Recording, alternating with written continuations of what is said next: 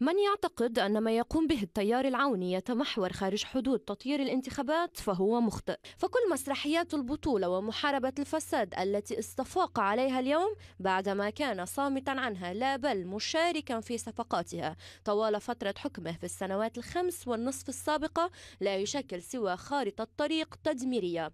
تبدأ من غزوة غادعون على المصارف إلى استفاقة القاضي عقيقي بعد أكثر من خمسة أشهر على غزوة عين الرمانة كلها محاولات ترمي إلى دب الفوضى الشاملة في البلاد تمهيدا للوصول إلى تقويض الاستقرار الأمني والاجتماعي اللازم لتأمين أرضية إجراء الاستحقاق النيابي في موعده المقرر في 15 أيار المقبل.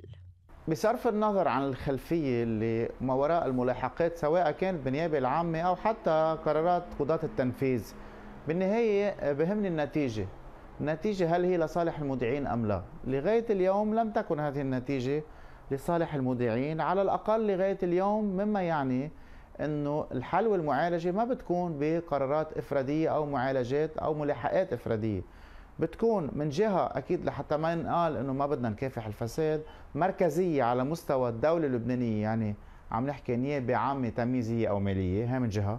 من جهة تانية بدنا نكون أمام خطة إنقاذية اقتصادية للدولة هي بتعيد تنشط القطاع المصرفي وبينتظم على هذا الأساس. فكل شيء متاح عند العهد مقابل تطيير الانتخابات وتفادي نتائجها. حتى ولو كان إدخال لبنان بدوامة هو بالغنى عنها أو حتى تدمير الهيكل على رؤوس الجميع. فهل ستنجح هذه المساعي؟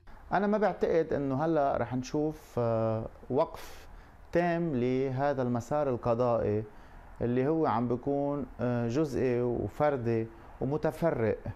بعتقد الانتخابات ملزمة طبعا مش لأنها فقط استحقاق دستوري للأسف لكن أيضا بسبب الضغط الدولي. هلأ إذا هذا الضغط الدولي جنح باتجاه آخر بأوكرانيا وغيرها من المستجدات الدولية ممكن اللي ما بده انتخابات يستفيد من تخفيف الضغط الدولي لا يأجل هذه الانتخابات. فلا عجب حين يستخدم القضاء لغايات سياسية للتشتيت والتفتيت. أن يصبح الوطن والانتخابات على كف عفريت.